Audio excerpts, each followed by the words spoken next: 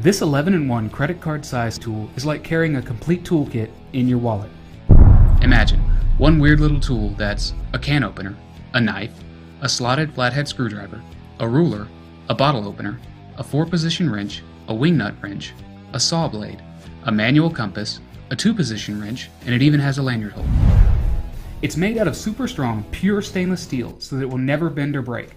And best of all, it hides away in your wallet and takes up no more room than an ordinary credit card.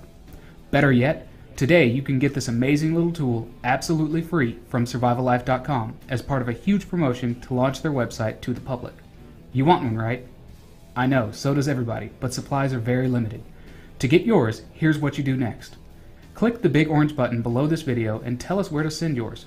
That's it. Just hit the big Claim My Tool button right now to get started. It only takes a few seconds.